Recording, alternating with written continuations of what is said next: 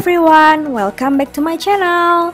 Hari ini aku mau recreate makeupnya Pony Makeup. Siapa yang nggak tahu Pony's Makeup, makeup artist terkenal dari Korea.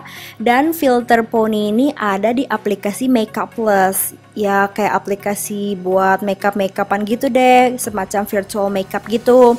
Dan uh, filter ini quite popular in Korea, terus mulai populer juga di Indonesia. Aku personally suka banget sama filter ini karena lucu, aku suka sesuatu yang unik dan aku suka coret-coret muka aku. So let's start the makeup. Aku udah pakai base makeup, udah pakai foundation, udah pakai powder dan alis juga. Sekarang tinggal aplikasi mata. Aku pilih warna uh, mustard kayak kuning-kuning orange gitu sesuai dengan warna yang keluar dari filternya pony dan digabung dengan warna sedikit coklat.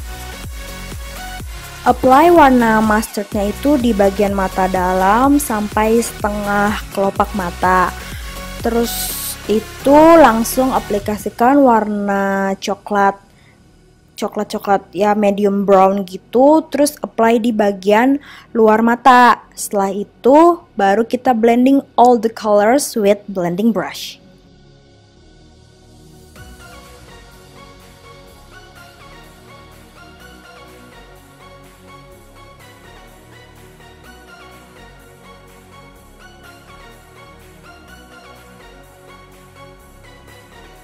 Terus pakai warna yang sama dengan yang di outer eyes, aplikasikan warna tersebut di bawah kelopak mata, di bawah mata dari pinggir sampai ke tengah.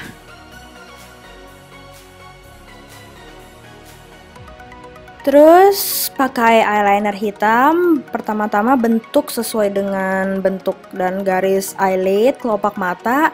Terus tinggal blok aja biar gampang dan jangan lupa bikin wingnya, wing eyes.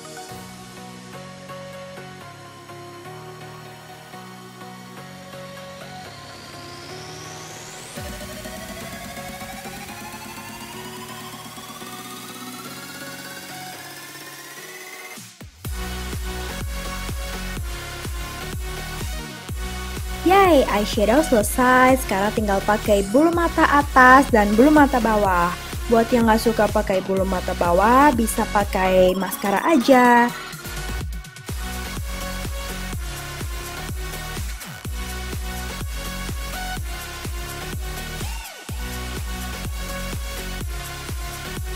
Uhuy, makeup mata selesai. Sekarang pakai lipstick. Lipsticknya itu difilter warnanya nude nude dan agak orange peach peach coral gitu. Jadi aku pilih warna lipstick yang sesuai dengan warna filter.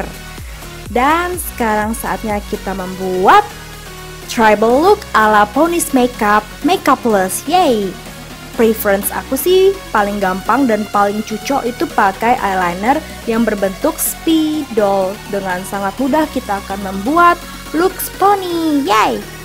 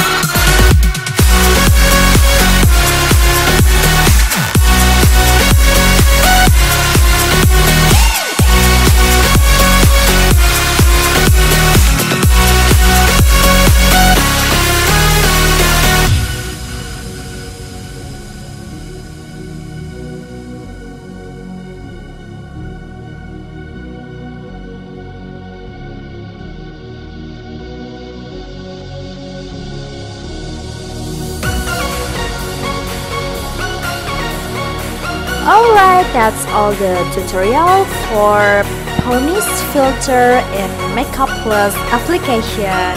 Buat yang mau coba-coba silahkan, aplikasinya menyenangkan loh, jadi bisa kayak inspirasi juga kan. Thank you for watching guys and subscribe ya. See you next video. Bye bye.